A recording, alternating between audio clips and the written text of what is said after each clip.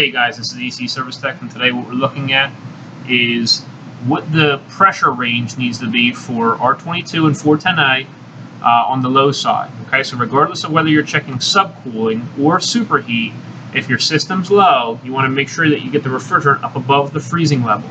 So the freezing level would be your saturated temperature. So the outer ring is PSIG, pounds per square inch gauge. Okay, um, this green section here is an inch HG, and that is uh, inches of mercury. Okay, that's be like in the negative. Okay, um, and the green, if you follow the green ring around, uh, that has to do with the saturated temperature. Okay, saturated means liquid and vapor both exist at the same time in that area. All right, and pink uh, or light uh, light pink or rose. All right, same thing, that's the saturated temperature. And then also you have orange, which is 404A, and you can follow that around as well. So basically you have your dial, you just would follow that in from the PSIG into the temperature, and that will be what it is, the actual temperature in the middle of the evaporator coil. So when you can't even get to it, the system is closed, you know, the, the, the cover's on, you know roughly uh, what that temperature is in the middle of the evaporator coil. All right, so um, you say you, you know, you normally turn a system on, let it run five, ten minutes, and then you start checking the refrigerant charge. Uh, but during that time period while you're waiting, you notice that you have a vapor pressure of 40, okay, PSIG. You need for, just say it's R22, okay, that will be low. Uh, if it was 40, you're looking at somewhere in the neighborhood of 16 degrees in the middle of the evaporator coil.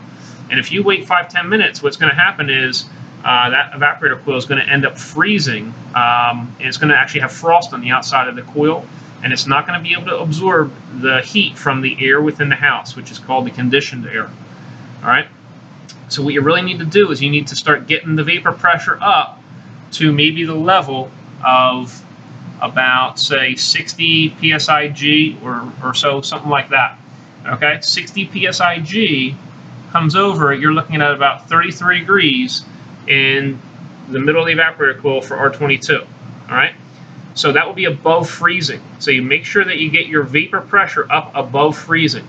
So the temp, or actually the pressure that you would like to see for R22 will be say like 60 to say maybe 83 or so. All right, 83 being a very hot and humid um, in, inside the house, hot and humid inside the house.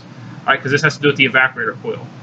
All right. Um, if it was down real low, and maybe it was at say 60 psig, and just say the refrigerant charge was correct, well, maybe the house is already down to say 63, um, 65 degrees inside that house, and that will be a reason why that that that pressure is down lower on this side right here.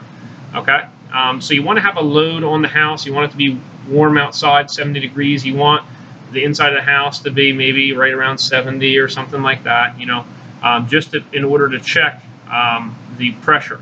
So it's not always that you want to get a 40 degree evaporator coil or something like that. Um, it's going to change depending on the temperature in the house. But the biggest thing is uh, when you start a unit up, you want to make sure that the evaporator coil is above freezing. So it has to be above 32 degrees, which we'll say we'll say the cutoff somewhere around 59, 60 degrees. I'm sorry, 59 to 60 psig for the outside. You follow that in, it's about 32, 33 degrees for R22. All right, so now let's talk about 410A. All right, so uh, the freezing temperature for that, we'll say that's about 100, about 100, we'll say. 100 psig is going to equal roughly right around 32 degrees for 410A. So 100, 100 psig, you come in and you're looking at a 32 degree evaporator coil or 31.5 or something around in that area. Okay. Now this pressure temperature chart is not going to be as exact exact as say one that you might get from DuPont or something like that. So you can have that as well. But this is going to get you pretty darn close, um, especially when you're looking at it straight ahead, which I'm not doing right now. Um, but uh, you know you can follow that dial into the 410A vapor range. So even if you're checking 410A and subcooling, which is normally done because you normally are running into systems that have TXVs for comfort cooling in, in homes and businesses, um, you still want to get the vapor pressure up above freezing. So if you see after two minutes and you're stuck at a vapor pressure of 75 psig, if you follow that in, uh, you are looking at somewhere in the neighborhood of 17 degree evaporator coil, and that coil is going to freeze. It's going to get frost on it, and you're no longer going to be able to absorb the temperature of the house, even if you raise the pressure up, because you're still below freezing, and the frost is going to um, stop you from absorbing it uh, well. Okay, so you want to make sure that you get that vapor pressure up. All right.